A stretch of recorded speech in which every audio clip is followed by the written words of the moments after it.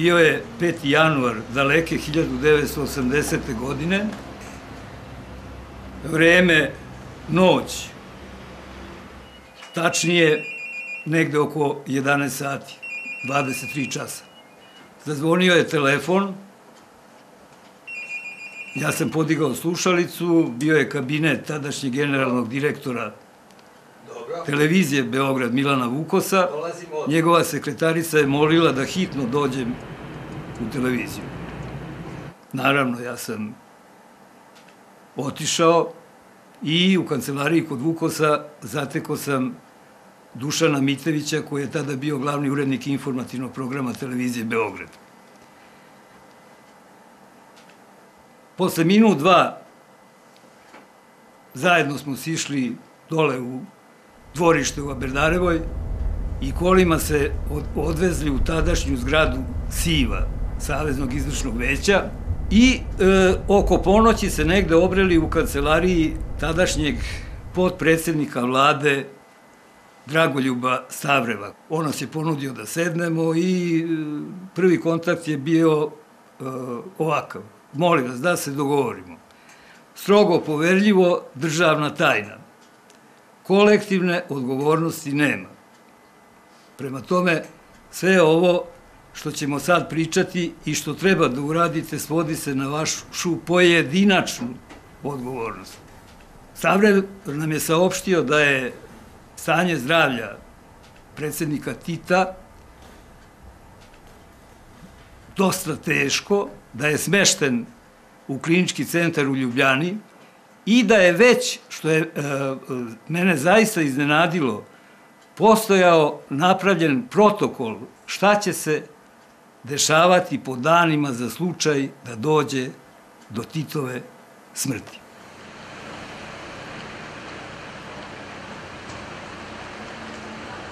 A, sutradan posle dočeka nove godine, a videlo se već na dočeku da je on bio sa štapom i da je bio neraspoložen.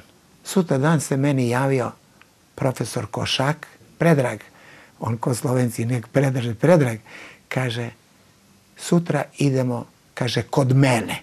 Ja sam odmah znao šta je to kod mene. Znači u klinički centar u Ljubljani.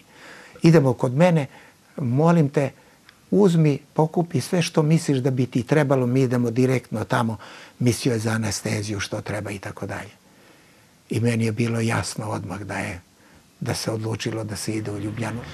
I mi smo sutra dan ujutru otišli sa Batajnice u klinički centar i tamo su snimili ovu nogu. On je odbijao svaku intervenciju. Svaku intervenciju. I mi smo, profesor Košak i ja, pošto je naravno sve što je trebalo raditi bilo u vezi sa strukom, sa hiruškom strukom, onda smo nas dvojica bili ti koji smo razgovarali o tom i šta da se radi i tako dalje.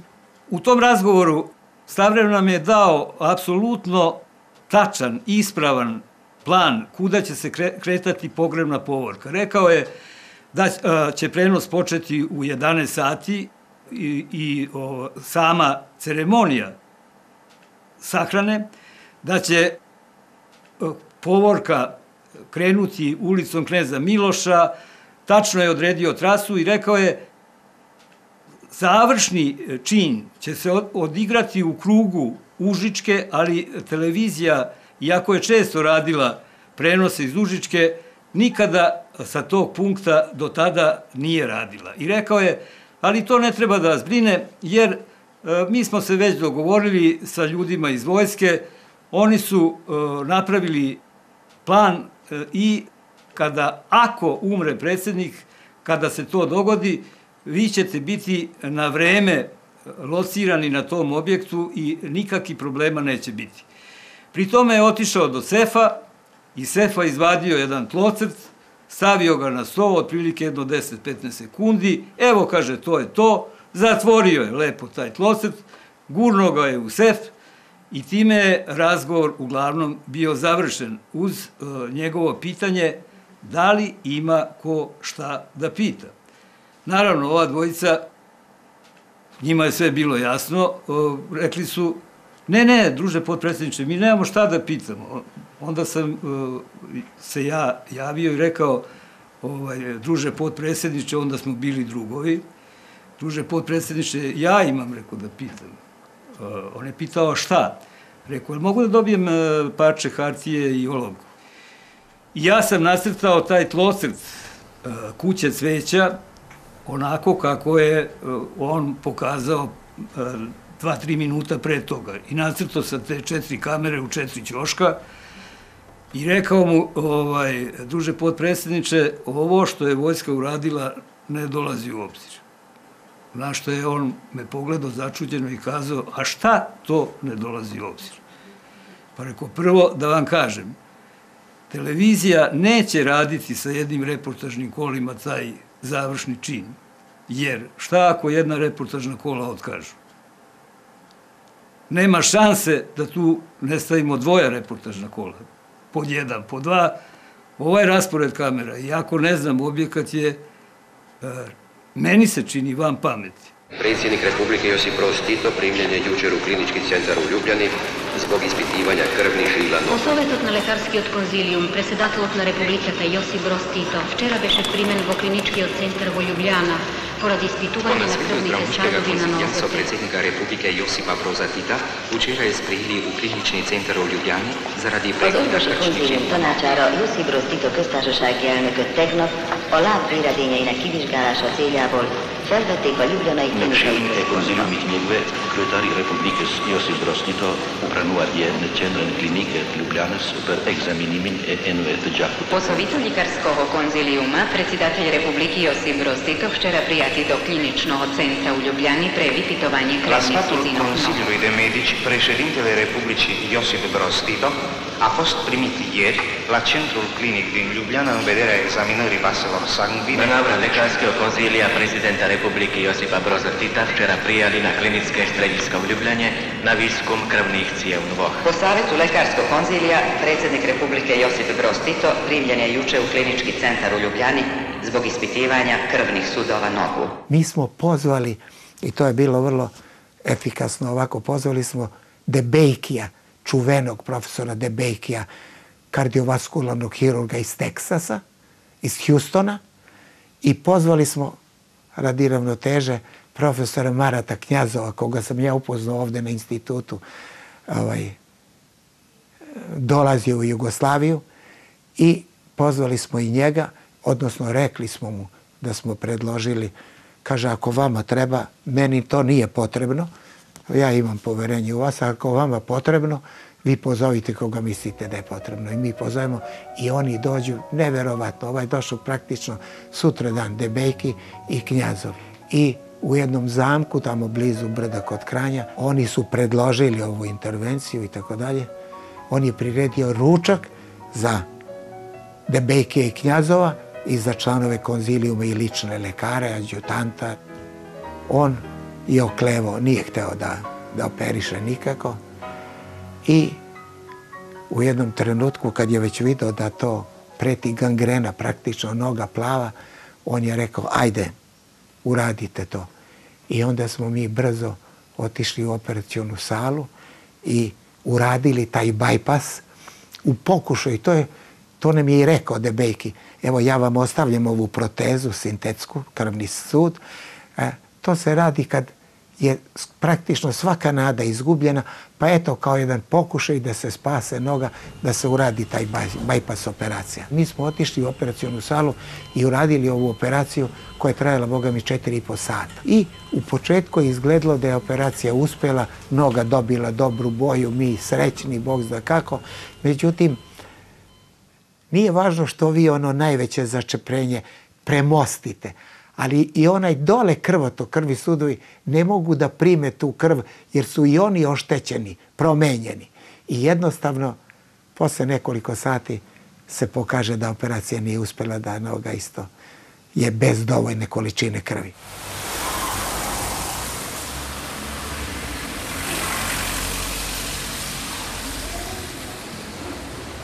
1980. godine sam radio na prvoj mojoj olimpijadi kao direktor za veze i koordinaciju. To je bilo u Lake Placidu i tada mi je e, direktor, znači predsednik ABC Sports i News televizije Run Arlić rekao da treba da se nađem sa Pierom Selingerom koji je bio i televizijski komentator i televizijski novinar, jer pre nego što je počeo da radi za ABC televiziju 78. godine, on je bio, pored ostalog, i sekretar za štampu predsednika Johna Kennedy-a.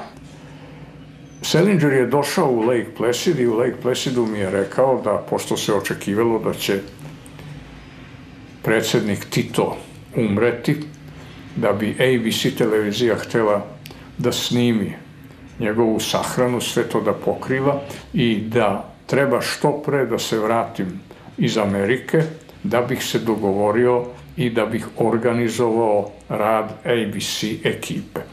Po završenom sastanku kod Savreva vratili smo se u zgradu tadašnje televizije Beograd. Milan Vukos, generalni direktor, e, bilo je to negde pola dva ujutru, e, rekao mi sledeće. Molim te, idi u svoju sobu, idi u svoju kancelariju, e, sutra ujutru do 8 sati hoću da imam kompletan plan televizijskog prenosa e, pogrebne povorke. Pošto sam znao e, kojom tehnikom raspolaže televizija Beograd, a takođe i kojim reportažnim kolima raspolažu ostali televizijski centri, Zagreb, Ljubljana, Skoplje, Sarajevo, Svaka republika je imala praktično svoj televizijski studio, svoj televizijski centar.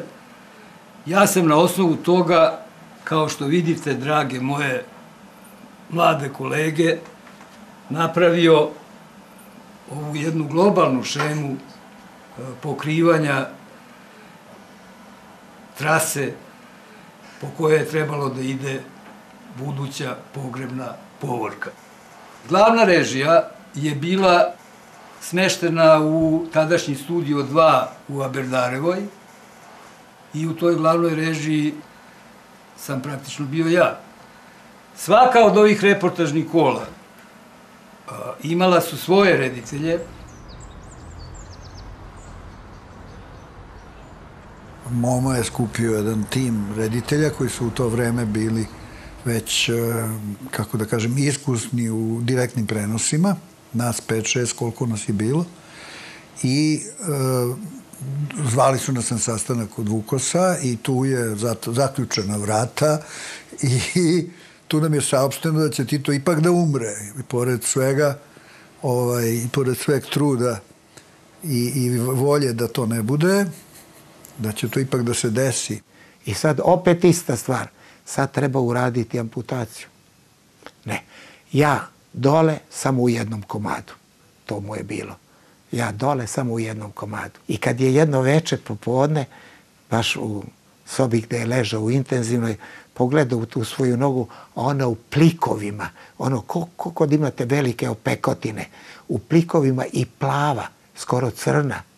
Kad je video to, kad su previjali, on kaže, radite šta treba. Uradimo amputaciju na pola butne kosti. Znači, dosta visoka. Dosta visoka amputacija. Uglavnom, ne može bolje biti. Sve je lepo i sad ćemo sutra ili preko idemo na brdo kod Kranja. Vraćamo se u rezidenciju.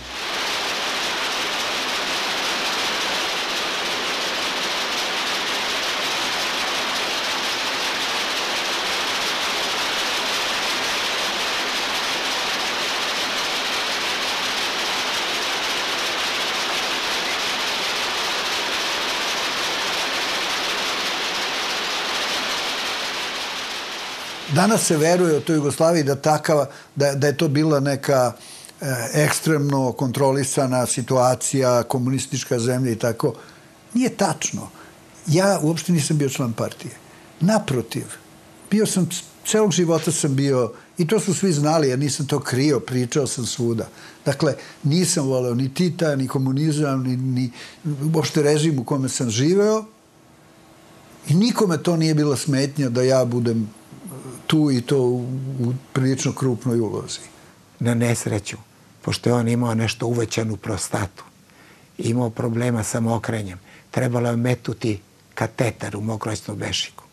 I sad, kad hoće nesreća, ako je, ima nešto što je rađeno na najbolji mogući način. Direktor urološke klinike se pere kao za operaciju. Navlači dva para sterenih rukavica, jedno preko drugog. Onda onaj spoj gde je kateter spojen sa cevčicom koja vodi urin u kesu se pere kao za operaciju. Pa se skinu jedne rukavice dole, druge sterine rukavice. Pa se rastavi kateter od ovog, uzme uzorak urina za pregled i vrati ovo i pored takvog rada on dobije infekciju, kako mi to kažemo, gram negativnim klicama koje su vrlo opasne i te klice pokrenu onda ovaj zamajac koji ide na dole pa je dan bolje, pa je dva dana gore, pa jedan dan ono korak napred, dva koraka nazad.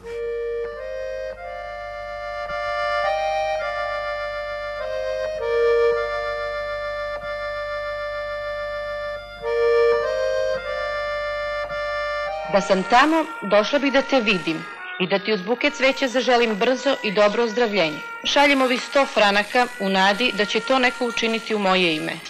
President Tito, best wishes for a speedy recovery. Have courage. Robert Spear, California. E, javnost je polako pripremana, na koliko se ja sećam. Na to da će se desiti što što većina verovatno nije verovala, ali nije želela da poveruje da će se desiti, ali da je to neka neminovnost i i ta saopštenja konzilijuma i, i predsedništva su postala na, na neki način rutina na koju smo se navikli.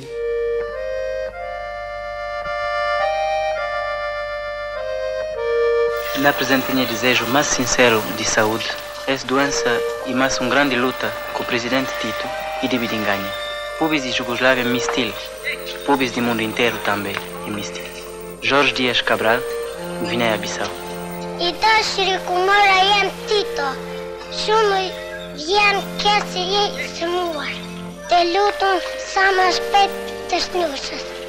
Fizioterapiju su rad, je radila jedna Slovenka, divna žena, divan fizioterapeut, ona je radila to. I sad oni kreveti, on je na uzglavlju naravno i prelomljen je i deo kreveta dole tako da on malo izdigne noge, ali opet se on sklizne malo dole. I sad ona kaže, drže predsjedniče, uhvatite vi mene ovako oko vrata i oduprite se tom desnom nogom da vas ja podigne malo.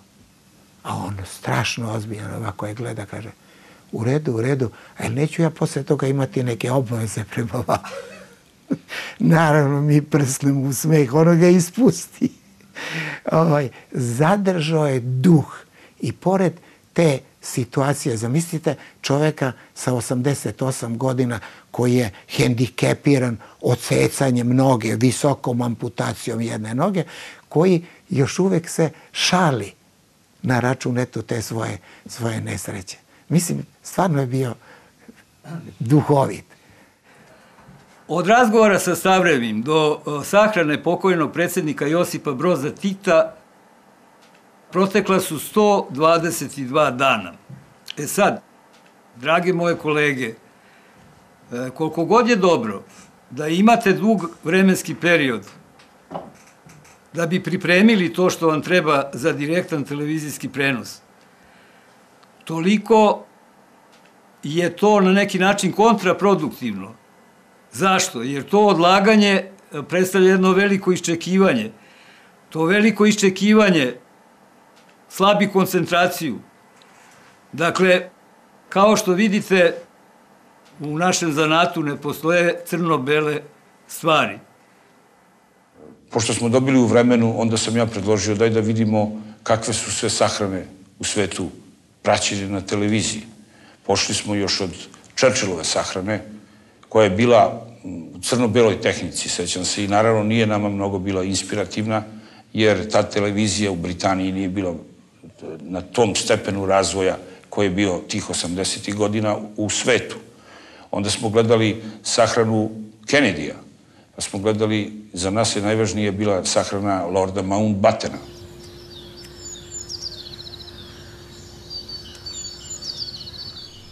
Onda da pređemo ove na, na samu stvar zbog čega ste i došli ovde. Da. Ja sam dobio vaša pitanja i kao podsjetnik.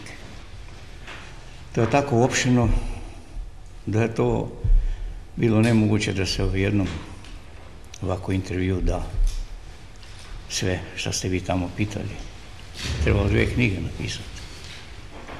E, osim toga, ja nisam mogao da ovaj, vas primim da direktno ovdje govorim, zbog išijasa koje me uvatio sad, prije parade. I to je moja parada, sad ću morati malo teže da stojim tamo nego obično. Njegu sam ja ovaj, na osnovu i vašeg ovoga e, pitanja i na osnovu mojih sjećanja napravio taj ovaj, intervju. Razumije se, hronološkim redom sam išao. Tako da, ovaj, nemojte se ljutiti ako nije sve ono ušlo što ste vi tamo tražili ovaj, od mene. Naravno kad se radi takvim stvarima kao moja ocjena pojedinih ljudi, istorijskih ličnosti i tako dalje, ja te stvari nerado dajem. Iako su to već uglavnom svi mrtvi. Svi su već umrli. Nema ih više. Malo je ostalo tih vodećih ljudi u tom drugom svjetskom ratu. Vremena je bilo dosta, samo uslovi nisu bili. Ne? Uslovi? Kako se sad Iz kreveta se teško radi u krevetu. Kako se sad osjećate u petnici? Sad je bolje, mogu da i hodam. To je... Vrijeme je bilo. Samo to je dugo traje. A čujem da ima još takvih ovaj, mojih pajdaša koji išija smuči. Mnogi se žale na ovo vreme. Znate da o, jako utiče. Jako utiče to vreme. Ja sam prije nekoliko dana bio, sad smo lijepo hodao i sve. Kad ne dam pod ono vreme, baš maja prvoga. Počelo gadno vreme i kiša me uvatilo gadno. A ja sam bio Bogom, prepao se, rekao neću moći biti na, ovom, na paradi. A znate šta je, 30 godina je prošlo, a čitavo vreme sam bio unutra, sad treba, htio bi barem na toj paradi da bude. Pa kako da ne? Prisutan. Ajde gore. Samo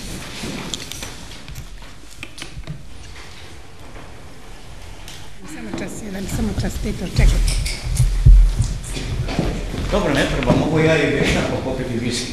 Spusti se.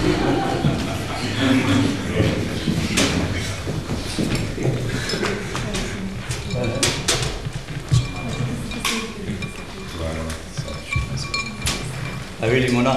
Ja viski da popijem se drugom predsjednika. Za, za ove 30 godina srijedno viski nije mnogo. Gospodine predsjedniče, da li biste bili ljubazni drugačice i vi se samo slikom za trenutak, naša, bit će svima to najveća i najdraža uspomena. Najbrže... A šta da radim? Da se slikam. A To je onda idite ovdje. Neće, neće, neće, da sam... Ja sam ga sakrio. Ovdje je, da. Neka te Bogom, sad to je snimaj. To spada ovdje. Sad čašamo, ajde. Pa ja ću ovako. Hvala vam.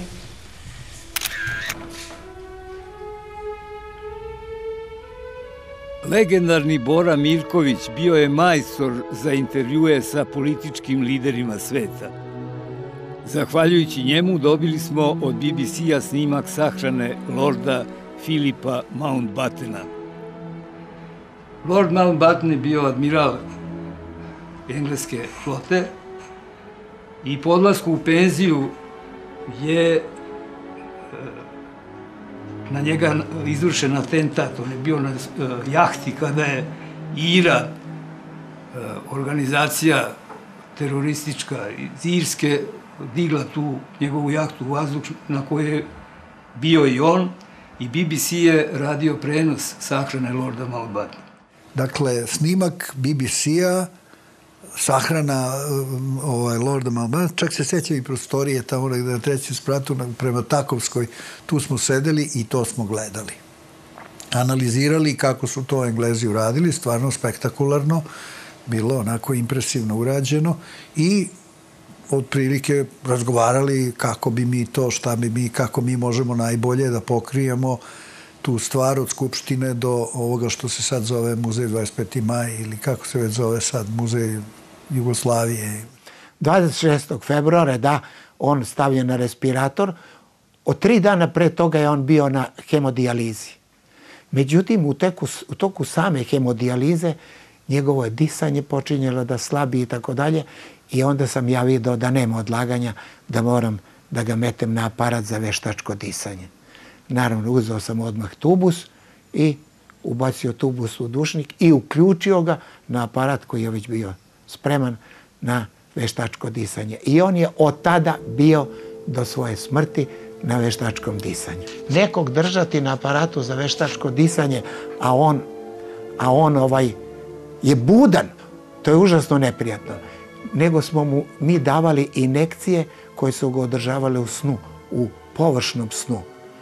Samo jedan put je on u toku tog perioda otvorio ovako oči i potpuno me svesno pogledao i ja sam brzo mu dao ovo da ga uspavam jer je to neprijatno, a u nekim fazama bolesti je bio u pravoj komi, ne u ovoj veštačkoj komi koju smo održavali, nego u pravoj komi zbog težine svoje bolesti, ali veći deo vremena je bio u veštačkoj komi davanjem određenih lekova je bio u snu.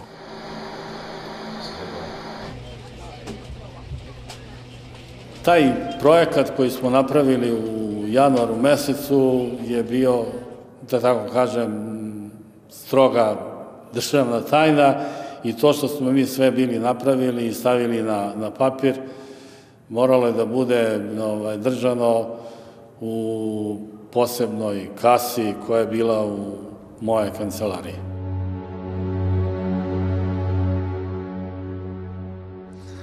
Kako sam znao da je Draža Marković, tada član predsjedništva CK Jugoslavije, veliki zvezdaš, ja sam imao telefon njegove vikendice u Grodskoj i pozovem ga i kažem mu da ću popodne imati snimak signal sa utakmice Zvezda Hajduk i pozovem ga da dođe kod mene u kancelariju da gledam utakmicu. On mi kaže, slušaj, tek sam stigu iz Beograda i da ti kažem pravo, ne vraća mi se u Beograd. Ništa, hvala ti, doviđenja. Nije prošlo pola sata, ja se spremam da pođem na televiziju, zvonim mi telefon. Javi se Draža i kaže, ja dolazim u Beograd, ali neću gledati utakmicu, ali nećeš ni ti. Tako smo mi sticam okolnosti bili prva javna ustanova medijska koja je doznala za Titovu smrt. Brecelj me nekoliko puta slao da odem da vidim je li, je li kraj. Tada smo mu ugradili pacemaker, unutrašnji pacemaker kroz venu, jer i srce je bilo poremećaj ritma i tako dalje. E, I tu dramatičnu noć je on preživeo, jeli, ali je onda krenulo sve, sve teže i teže i tako dalje, tako da je onda na kraju bilo. Ovo sastanci sa konzi, konzilijuma to redovno naravno i pisanje biltena. Svako je mogao da kaže po jednu rečenicu a onda nemojte to je malo preozbiljno ajmo malo da ublažimo to i tako dalje. I tog dana kad je umro, mi smo ujutru dali jedno saopštenje koje je bilo relativno neutralno, nije bilo tako loše. Održava se stanje, recimo. Nije bilo rečeno ništa što bi moglo da predskaže da će tu biti kraj. Međutim, kad je krenulo da dijaliza mora da se prekine, kad je pao pritisak, pa smo prekinuli dijalizu, onda je bilo jasno da će to loše da se završi. Onda smo mi napisali jedno drugo saopštenje koje je malo podiglo alarm na viši nivo, jeli? jer smo rekli da je umeđu vremenu došlo do još težeg pogoršanja i tako dalje i tako dalje i da bi onda popodne definitivno došlo do kraja. Bili smo svi članovi konzilijuma i svi lični lekari oko kreveta, oko respiratora. On je, on je tada imao maksimum maksimalni monitoring. On je bio na respiratoru, znači na veštačkom disanju. On je imao pacemaker za srce, on je imao EKG, on je imao infuzionu pumpu kojem smo davali uh, specijalno elektronsko određene lekove i bio je valjda pulsni oksimetar koji je merio oksigenaciju, oksigenaciju krvi.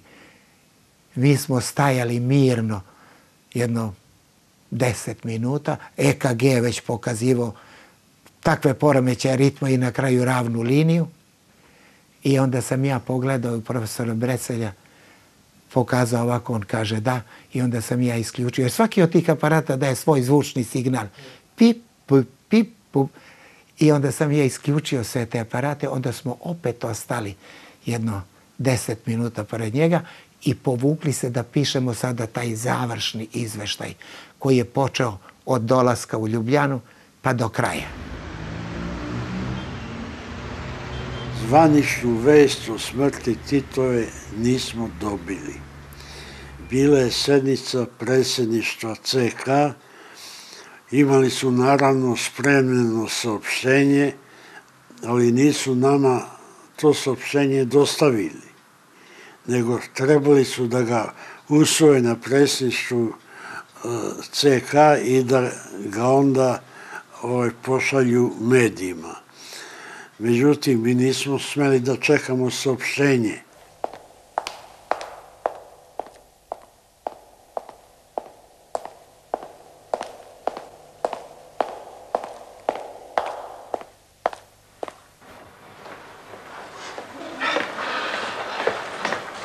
Deset vode.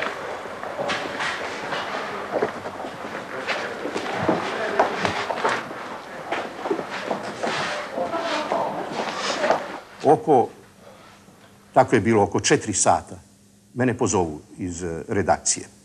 Kažu mi da se spremim, ja sam već znao o čemu se radi, da se spremim znači da ponesem crno odelo, kravatu crnu i tako dalje.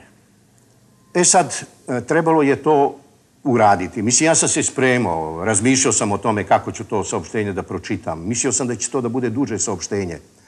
I znate, to će vam izgledati čudno. Spikeru je uvek lakše da duži tekst saopšti nego kraći. Što je tekst kraći, spikeru je sve teže. Jer ima manje prilike da ako nešto zabrlja da se popravi. U dužem tekstu može da nešto i da se desi, pa će on to posle da popravi ako je kvalitetan i tako dalje. Ovaj tekst o smrti Titovo je bio vrlo kratak. To je bilo, koliko se ja sećam, e, saopštenje iz, iz jedne rečenice. Nisam baš više siguran tačno kako je glasilo. Mislim da je bilo da je predsjedništvo Jugoslavije i predsjedništvo CK Saveza komunista saopštilo da je... Ne, prva rečenica je bila umro je drug Tito, da. To je, pa je onda u drugoj rečenici da je to saopštilo predsjedništvo jedno i drugo. To su bile dve kratke rečenice.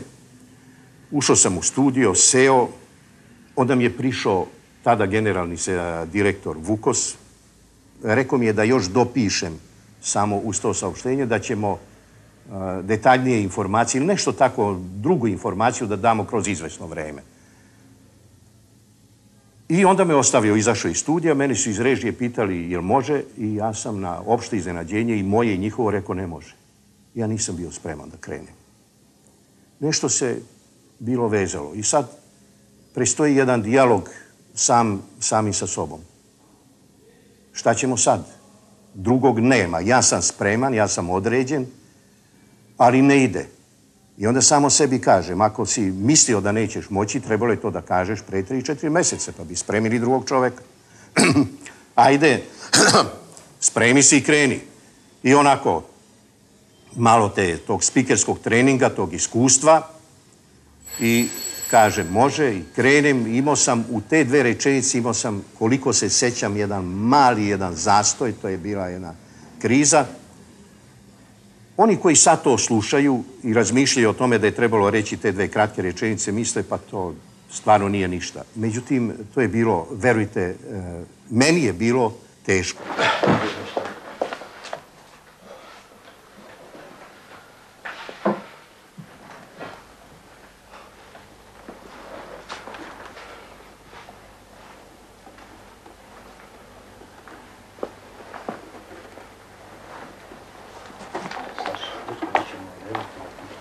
To oni ne znaju tamo, to se bilo.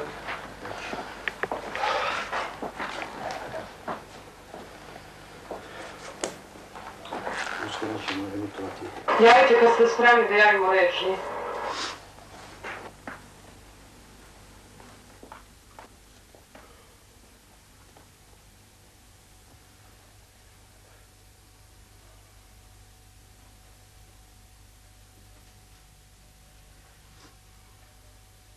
Milo, jel može? Čekaj, čekaj.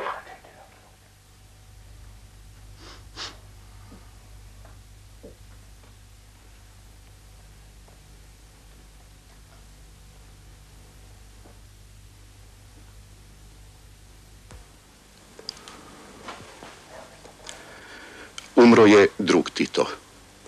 To su večera saopštili Centralni komitet Saveza komunista Jugoslavije i predsjedništvo Socijalističke federativne republike Jugoslavije, radničkoj klasi, radnim ljudima i građanima, narodima i narodnostima Socijalističke federativne republike Jugoslavije.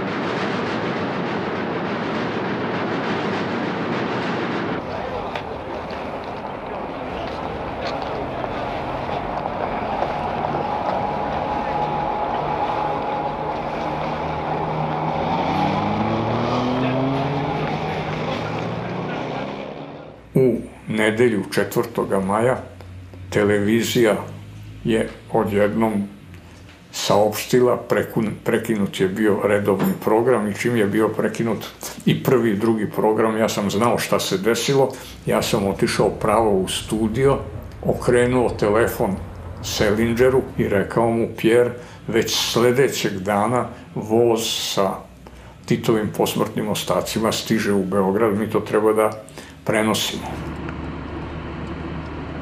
Mi smo u, u toku noći između tog 4.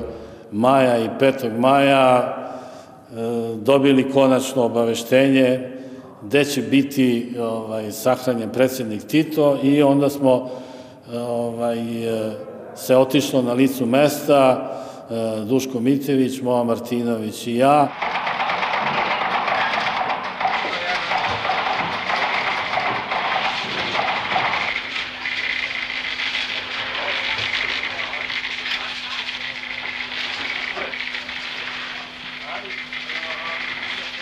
Došli smo tamo u, ovaj, na lokalitet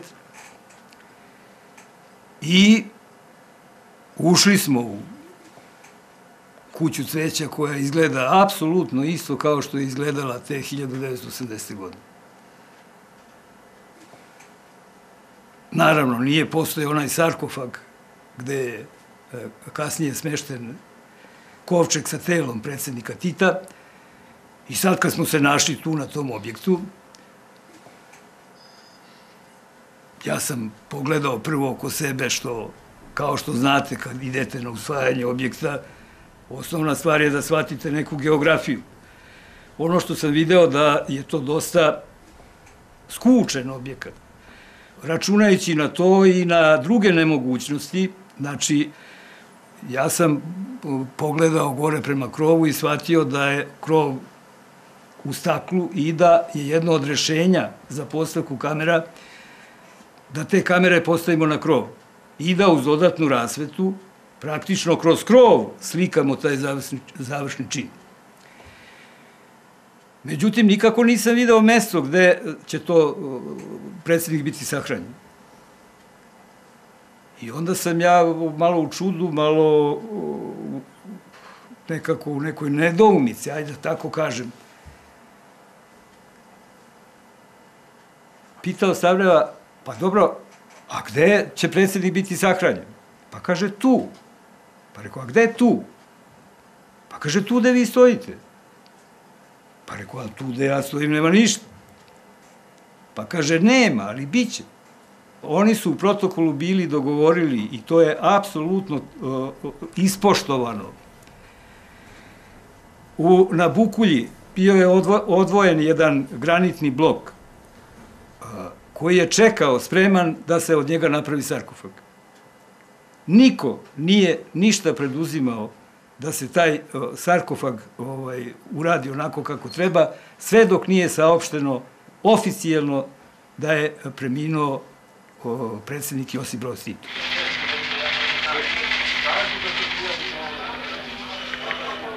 Tito ha disparu e sarebbe del resto come infrangere il diaframma del dolore di una famiglia in lutto. Miles de personas vestida de negro, expresión de un auténtico luto nacional. Jugoslawien und vor allem die Hauptstadt Belgrad hat dem heimkehrenden Tito einen sehr würdigen Empfang bereitet. Marshal Tito was born to peasant parents. 40 years of Yugoslav history was over.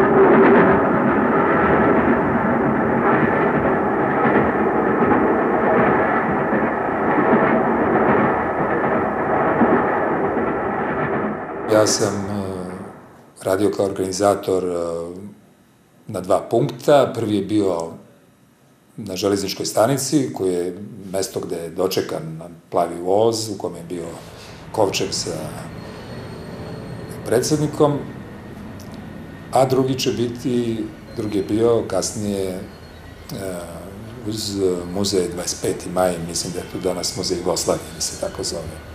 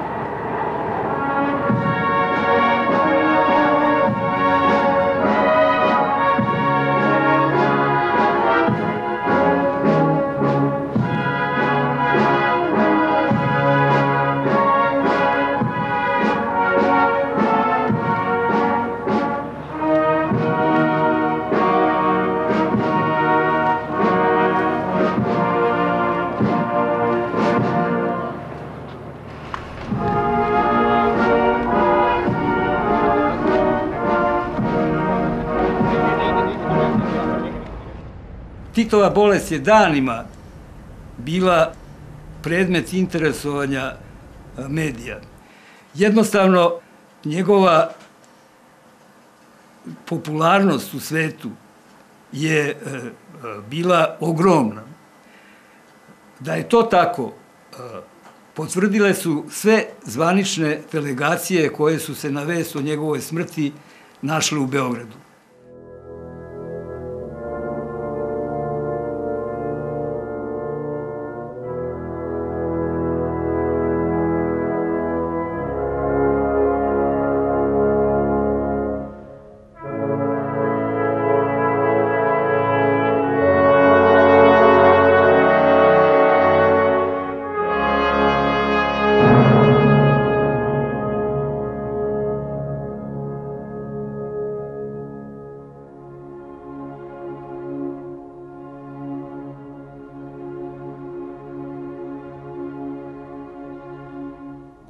Radili dana noćno tad, niko nije pitao da li će da spava i koliko će da spava, kad će da jede, kad će da se odmori.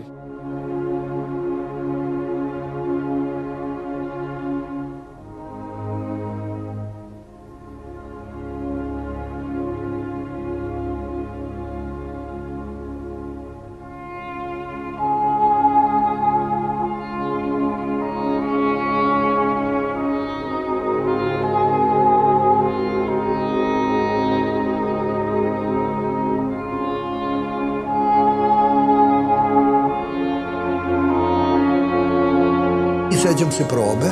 Prethodne no, prethodnu noć smo imali probu pravu. Išao je neki džip ulicom, e, vojni, pa smo mi, taj džip je imitirao sutradan, kolonu Sutradan. E, i, I onda smo, ovaj, taj džip kad je došao gore onda su imitirali, onda smo naravno probali ispuštanje u, u samu raku, u onu grobnicu.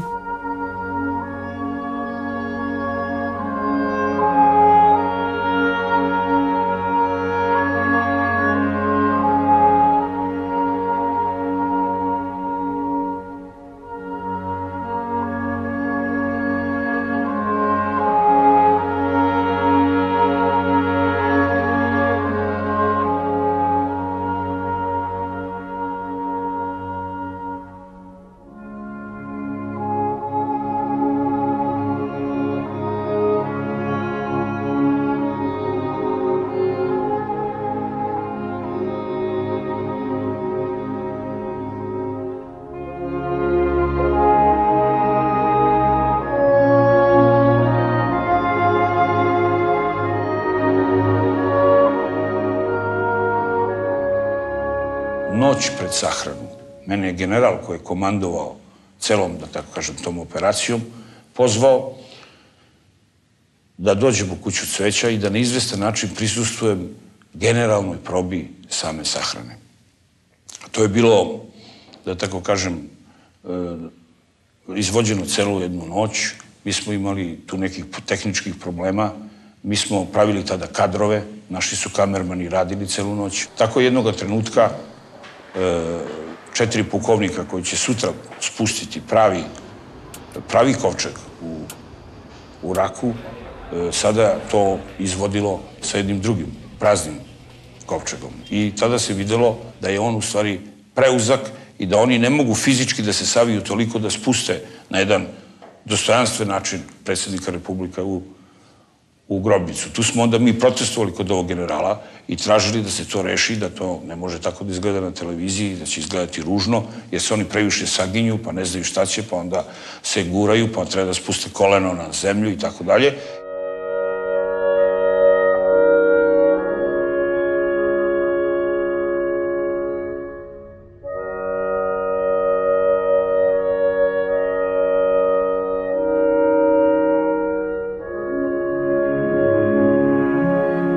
Završenoj generalnoj probi Stavrev me je pozvao i rekao ja vas molim da se taj završni deo uh, kad se navlači ploča da to izbegnete. Nemojte da dođemo u situaciju. Postoji 1% mogućnosti da ta ploča ne može da se navuče onako kako treba i da ceo svet gleda kako se mučimo oko toga da sahranimo svog sobstvenog predsjednika. I ja se sećam da sam to, na to se sećam da sam reagovao, ne znam da se drugi sećao, ali to je meni izgledalo kao strašno. Da li je moguće da ćemo mi da uradimo prenos satima, da vozimo jednu priču televizijsku do nekog finala i da finale ljudi neće videti. To mi je izgledalo kao neverovatno. Kao fanta. I rekao, i sveća da sam svima rekao, pa ljudi, odmah će da počnu priče da on nije ni umro, da nije ni sahranjen, uopšte nije tu.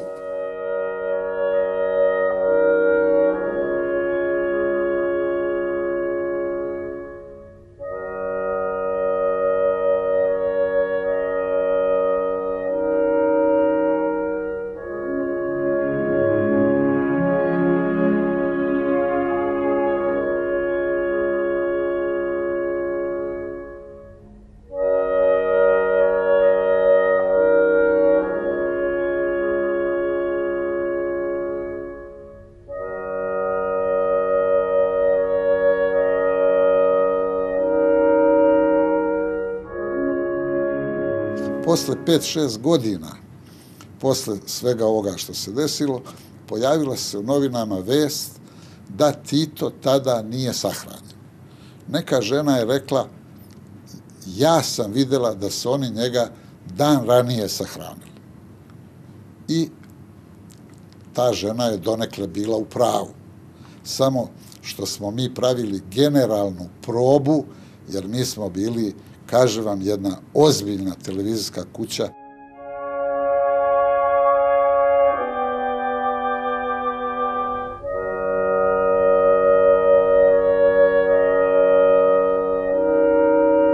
Te noći ja sam prvi put razgledao kuću cveća. Ja sam znao da postoji taka neka prostorija, nikad nisam bio.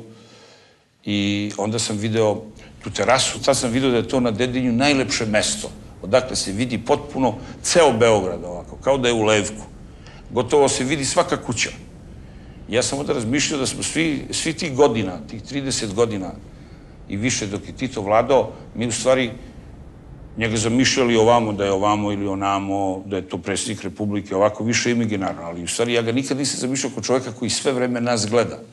I da je to u stvari ovaj, jedna, da tako kažem, kao da sam se naknadno nakladno uplašio od cele te stvari, jer je on stvarno sve vreme video Beograd.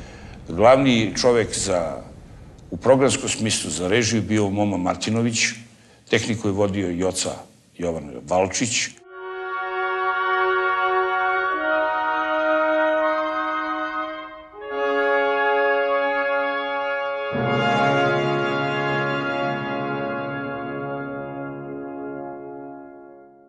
osmoga kada je e, trebalo da počne ovaj, e, prenos sahrane, e, dogovor je bio da ja generalnom direktoru, gospodinu Vukosu, ono, podnesem izveštaj da mu kažem da li je sve spremno i da li je sve u redu. Ja sam, ovaj, tada smo negde oko 9 sati sve proverili, sve je funkcionisalo, ne može biti bolje. Otišao sam kod njega u kancelariju, rekao sam mu da je sve u redu.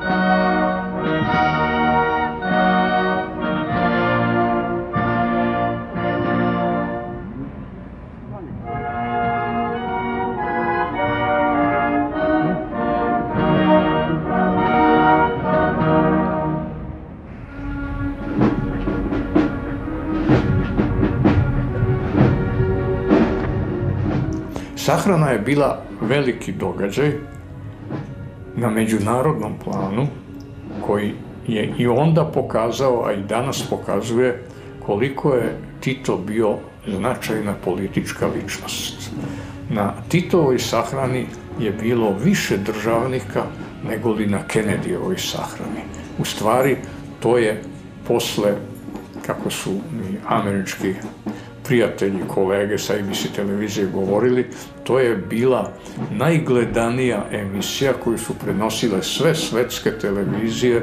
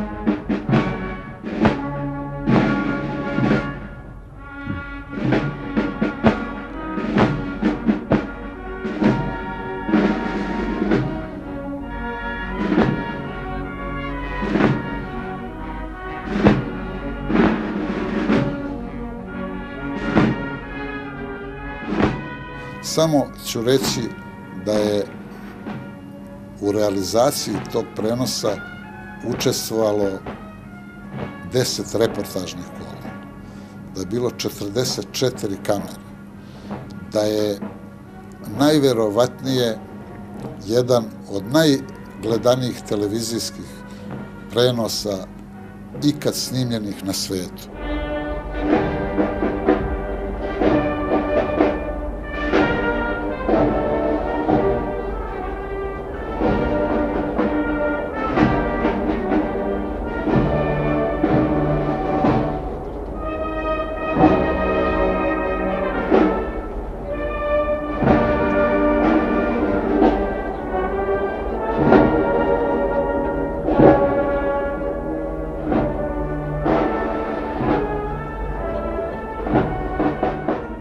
Stvari preuzimali signal televizije Beograd, međunarodni onaj signal Clean Feed i jedino što smo uh, imali jednu kameru koja je trebalo da snima posebno Selingerove kadrove.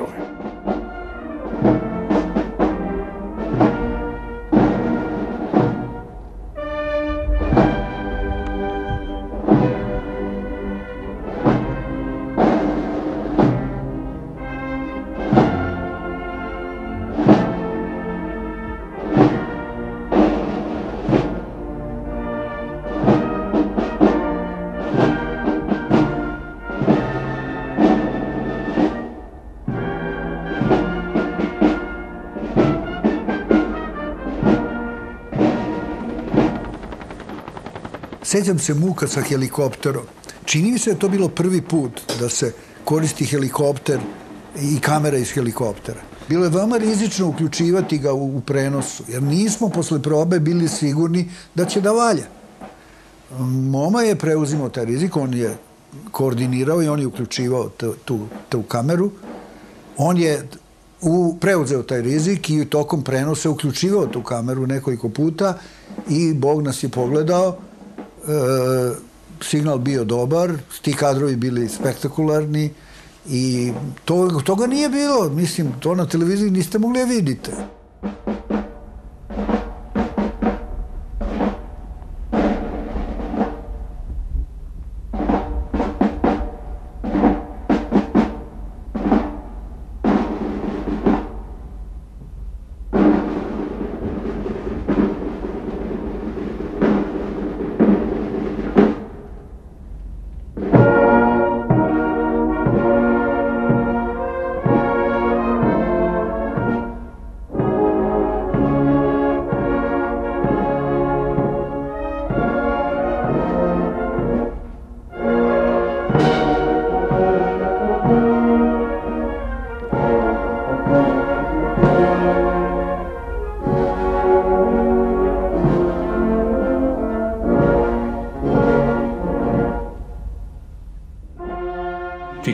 Tito je bio cenjen kao veliki, značajan političar i taj rating, gledanje u samoj Americi je bilo veoma visoko.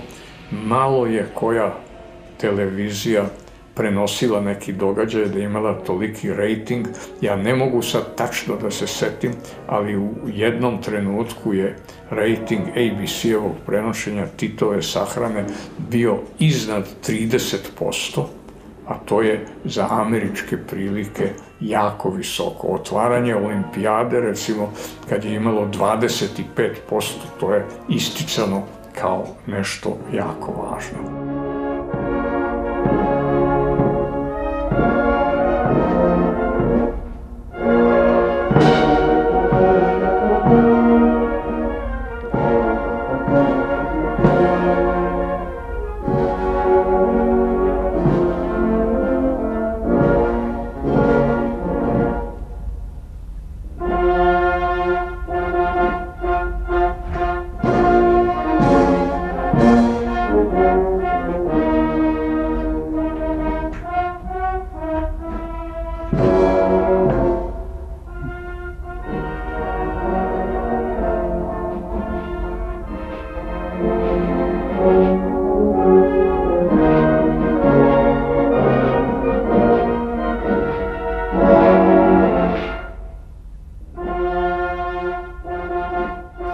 Sam imao zadatak da budem sa portabl kamerom pokretan, a svi drugi snimatelji, to možete videti u snimku prenosa, su imali tribinu i odatle su snimali, nisu mogli da se kreću. Znači, ja sam bio od onih privilegovanih u ime svih televizija da mogu da priđem na svako mesto i da sve ono snimim iz najboljeg mogućeg ugla i onako kako od mene režija zahtevala. Interesantno je da je ispred filmskih ekipa bio Draganče Mitrović, jedan izuzetan čovek, divan čovek i dobar snimatelj i on je bio lični snimatelj druga Tita, koje, on ga je pratio na svim njegovim putovanjima i interesantno je, i on je bio taj koji je mogao isto da se kreće kao ja. I odjednom ja vidim, nega ne, nema Pogledam kamera, on postavio kameru na zemlju i otišao tamo iza kuće. Malo, malo, nema ga. Vrati se. Malo, malo, nema. Ja kažem, šta ovo on ide? Ja odem jednom da vidim šta on to tamo radi. On plače. Ja, ja sam plakao sam. Plakao sam.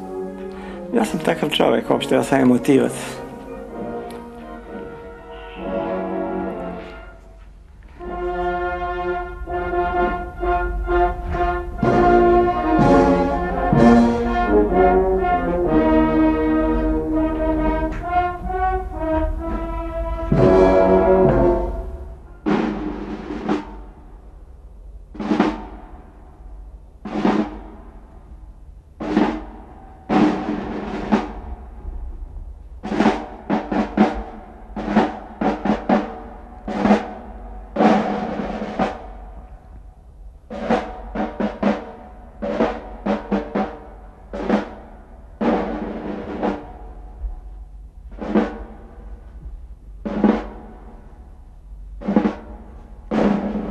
Jako sam obećao Stavrevu da se navlačenje ploče neće videti u prenosu, ja sam promenio to svoje mišljenje. Ja i Moma smo se dogovorili da mi ipak spremimo tu kameru i da je uključimo. Pa šta bude, bude. Moma je bio potpuno za to. Ako se ja dobro sećam, čini mi se da sam rekao, Momo, daj mi to da uradimo, pa posle, znaš kako, posle nek nas apse, nije važno, uradit ćemo svoj posao do kraja. I mi smo spremili e, tu kameru, međutim, kad je došao taj trenutak, e, prosto na toj kameri je bilo crno. Ništa, nije bilo slike. Zašto? Pa stoje čovek iz udbe ispred kamere i zaklonio je i gotovo.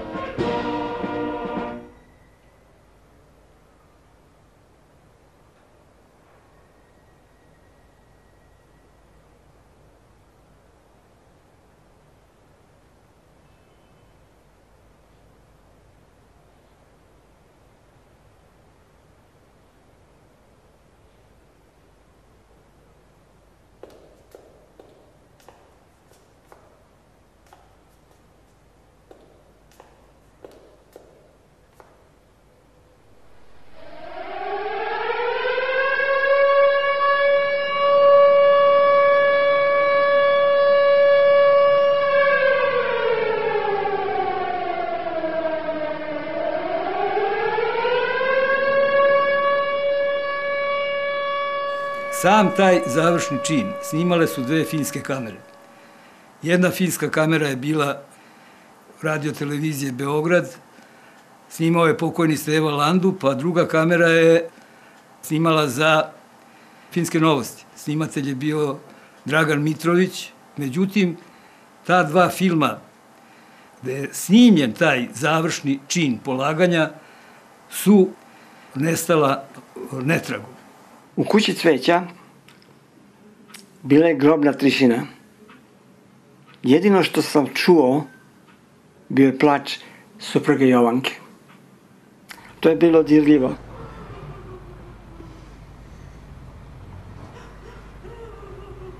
Ordonansi su spustili kovčeg, a onda navukli mermernu ploču.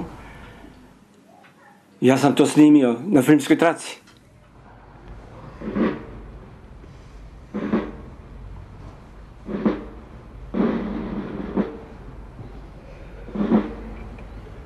To je bio najtužniji zadatak u moj 40-godišnjoj snimateljskoj karijeri.